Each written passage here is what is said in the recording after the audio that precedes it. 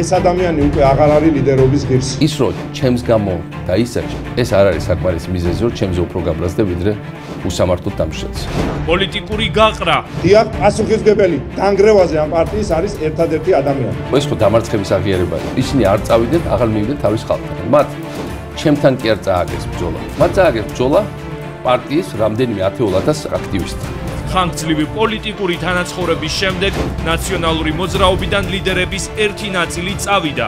რას ამბობს სასულებზე პარტიის ლიდერი? ეს არის კარგი გაკვეთილი, რომელიც მათ შორის მე ჩამიტარეს. ეხლა როდესაც ურემი გადაბრუნდა, ისა გამოჩნდა. ამიტომ უნდა დარჩეს ალალი ხალხი, ხალხი ვისაჯა იდეის და ვინც ტრიუკებს არ გააგვარებს. და რითხსნიან წასვლას წასულები.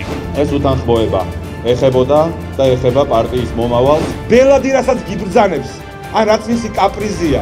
ის კი არ არის თავი ამგზას მივყევათ შიხისკენ.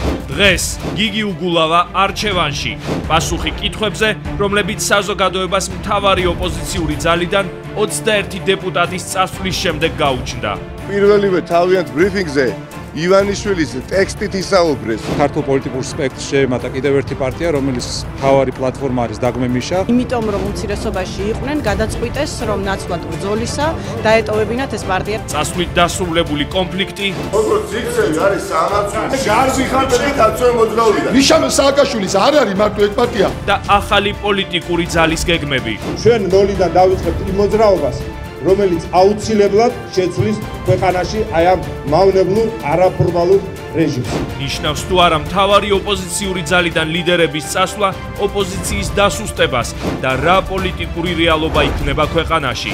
დღეს ქართული პოლიტიკის ახალ რეალობას ექსპერტებთან ერთად ვაანალიზებთ.